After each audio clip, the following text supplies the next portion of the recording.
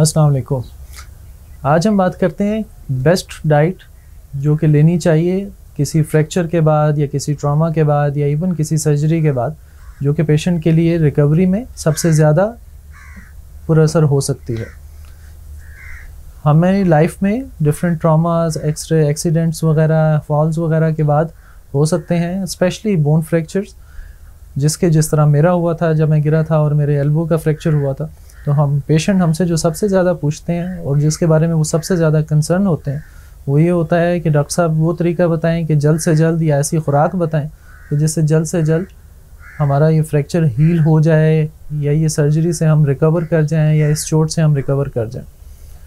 तो आज हम इसके बारे में बात करेंगे। मेरा नाम डॉक्टर यासिर है। मैं एक ऑर्थोपेडिक स्पेशलिस्ट हूँ और मैं पिछले कई सालों से अली मेडिकल सेंटर में एज ए ऑर्थोपेडिक सर्जन काम कर रहा हूँ। फ्रैक्चर के लिए क्या डाइट ज़रूरी है? इसके बारे में जानने से पहले ये सबसे ज़्यादा ज़रूरी है कि फ्रैक्चर का हीलिंग का अमल होता कैसे है। उसके कुदरत ने एक निज़ाम है जो कि एक बड़ा स्पेसिफिक है और स्टेप बाय स्टेप सिस्टम है। जब आपका फ्रैक्चर तो हड्डी आपकी दो जगह से टूटती है तो सबसे पहले उस जगह पे एक क्लॉट बनता है, खून जमा होता है।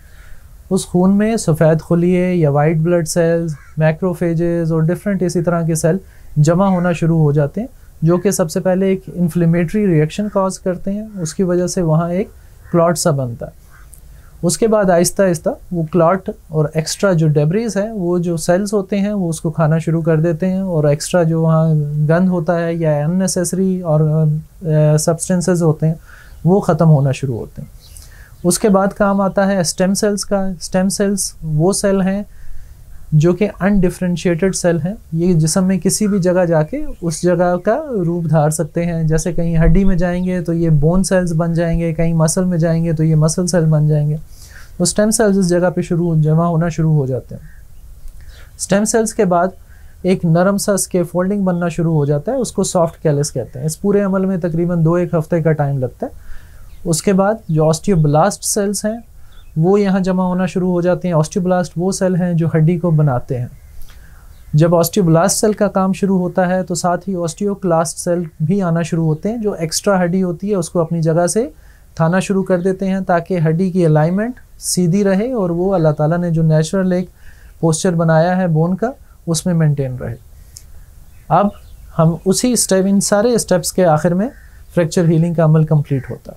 तो जो, जिस तरह मैंने पहले बात की कि जो सबसे पहला स्टेप है, जिसमें मैक्रोफेजेस आते हैं, जिसमें क्लॉट बनता है कैलस बनता है, अब ये चीज़ ज़रूरी है कि ज़्यादा शुगर या ज़्यादा ग्लूकोज की अपडेट मैक्रोफेजेस का काम को स्लो कर देती है।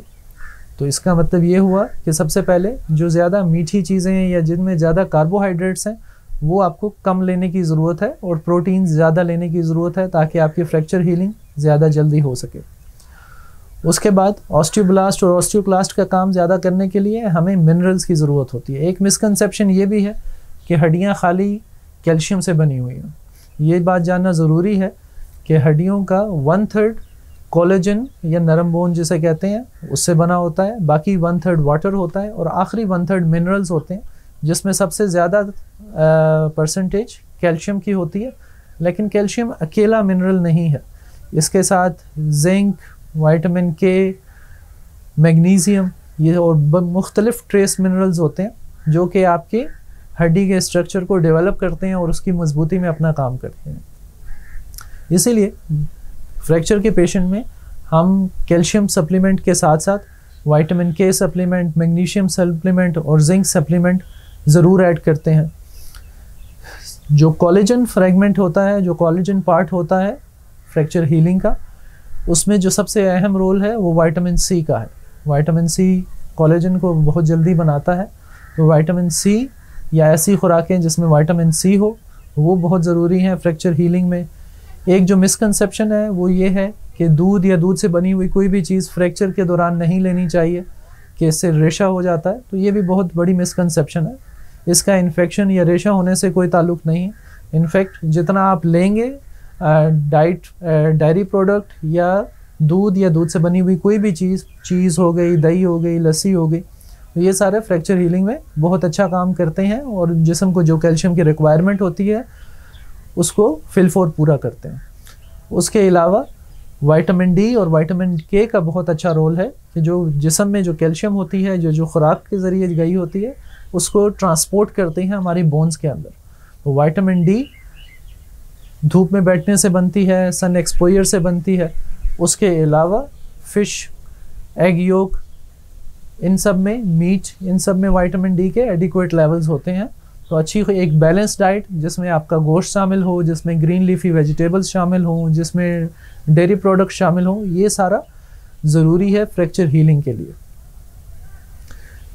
जब हम फ्रैक्चर हीलिंग की बात कर रहे हैं तो कुछ चीज़ें वो हैं जो फ्रैक्चर हीलिंग को स्लो करती हैं या उसमें नुकसानदेह हो सकती हैं। उसमें सबसे पहली चीज़ स्मोकिंग है या कोई भी ड्रग्स वगैरह अल्कोहल वगैरह, ये सारा कुछ फ्रैक्चर हीलिंग को स्लो कर देता है।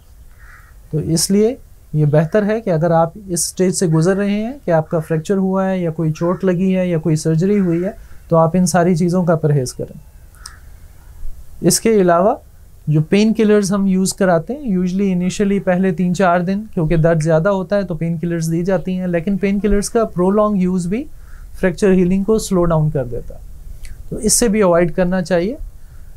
तीसरी चीज़ स्पेशली फ्रैक्चर्स के लिहाज से इनिशियली जब फ्रैक्चर सॉफ्ट होते हैं तो उसको इमोबलाइज हम करते हैं। इमोबलाइज से मुराद ये है कि फ्रैक्चर हड्डी के दो हिस्से अपनी जगह से हिले नहीं।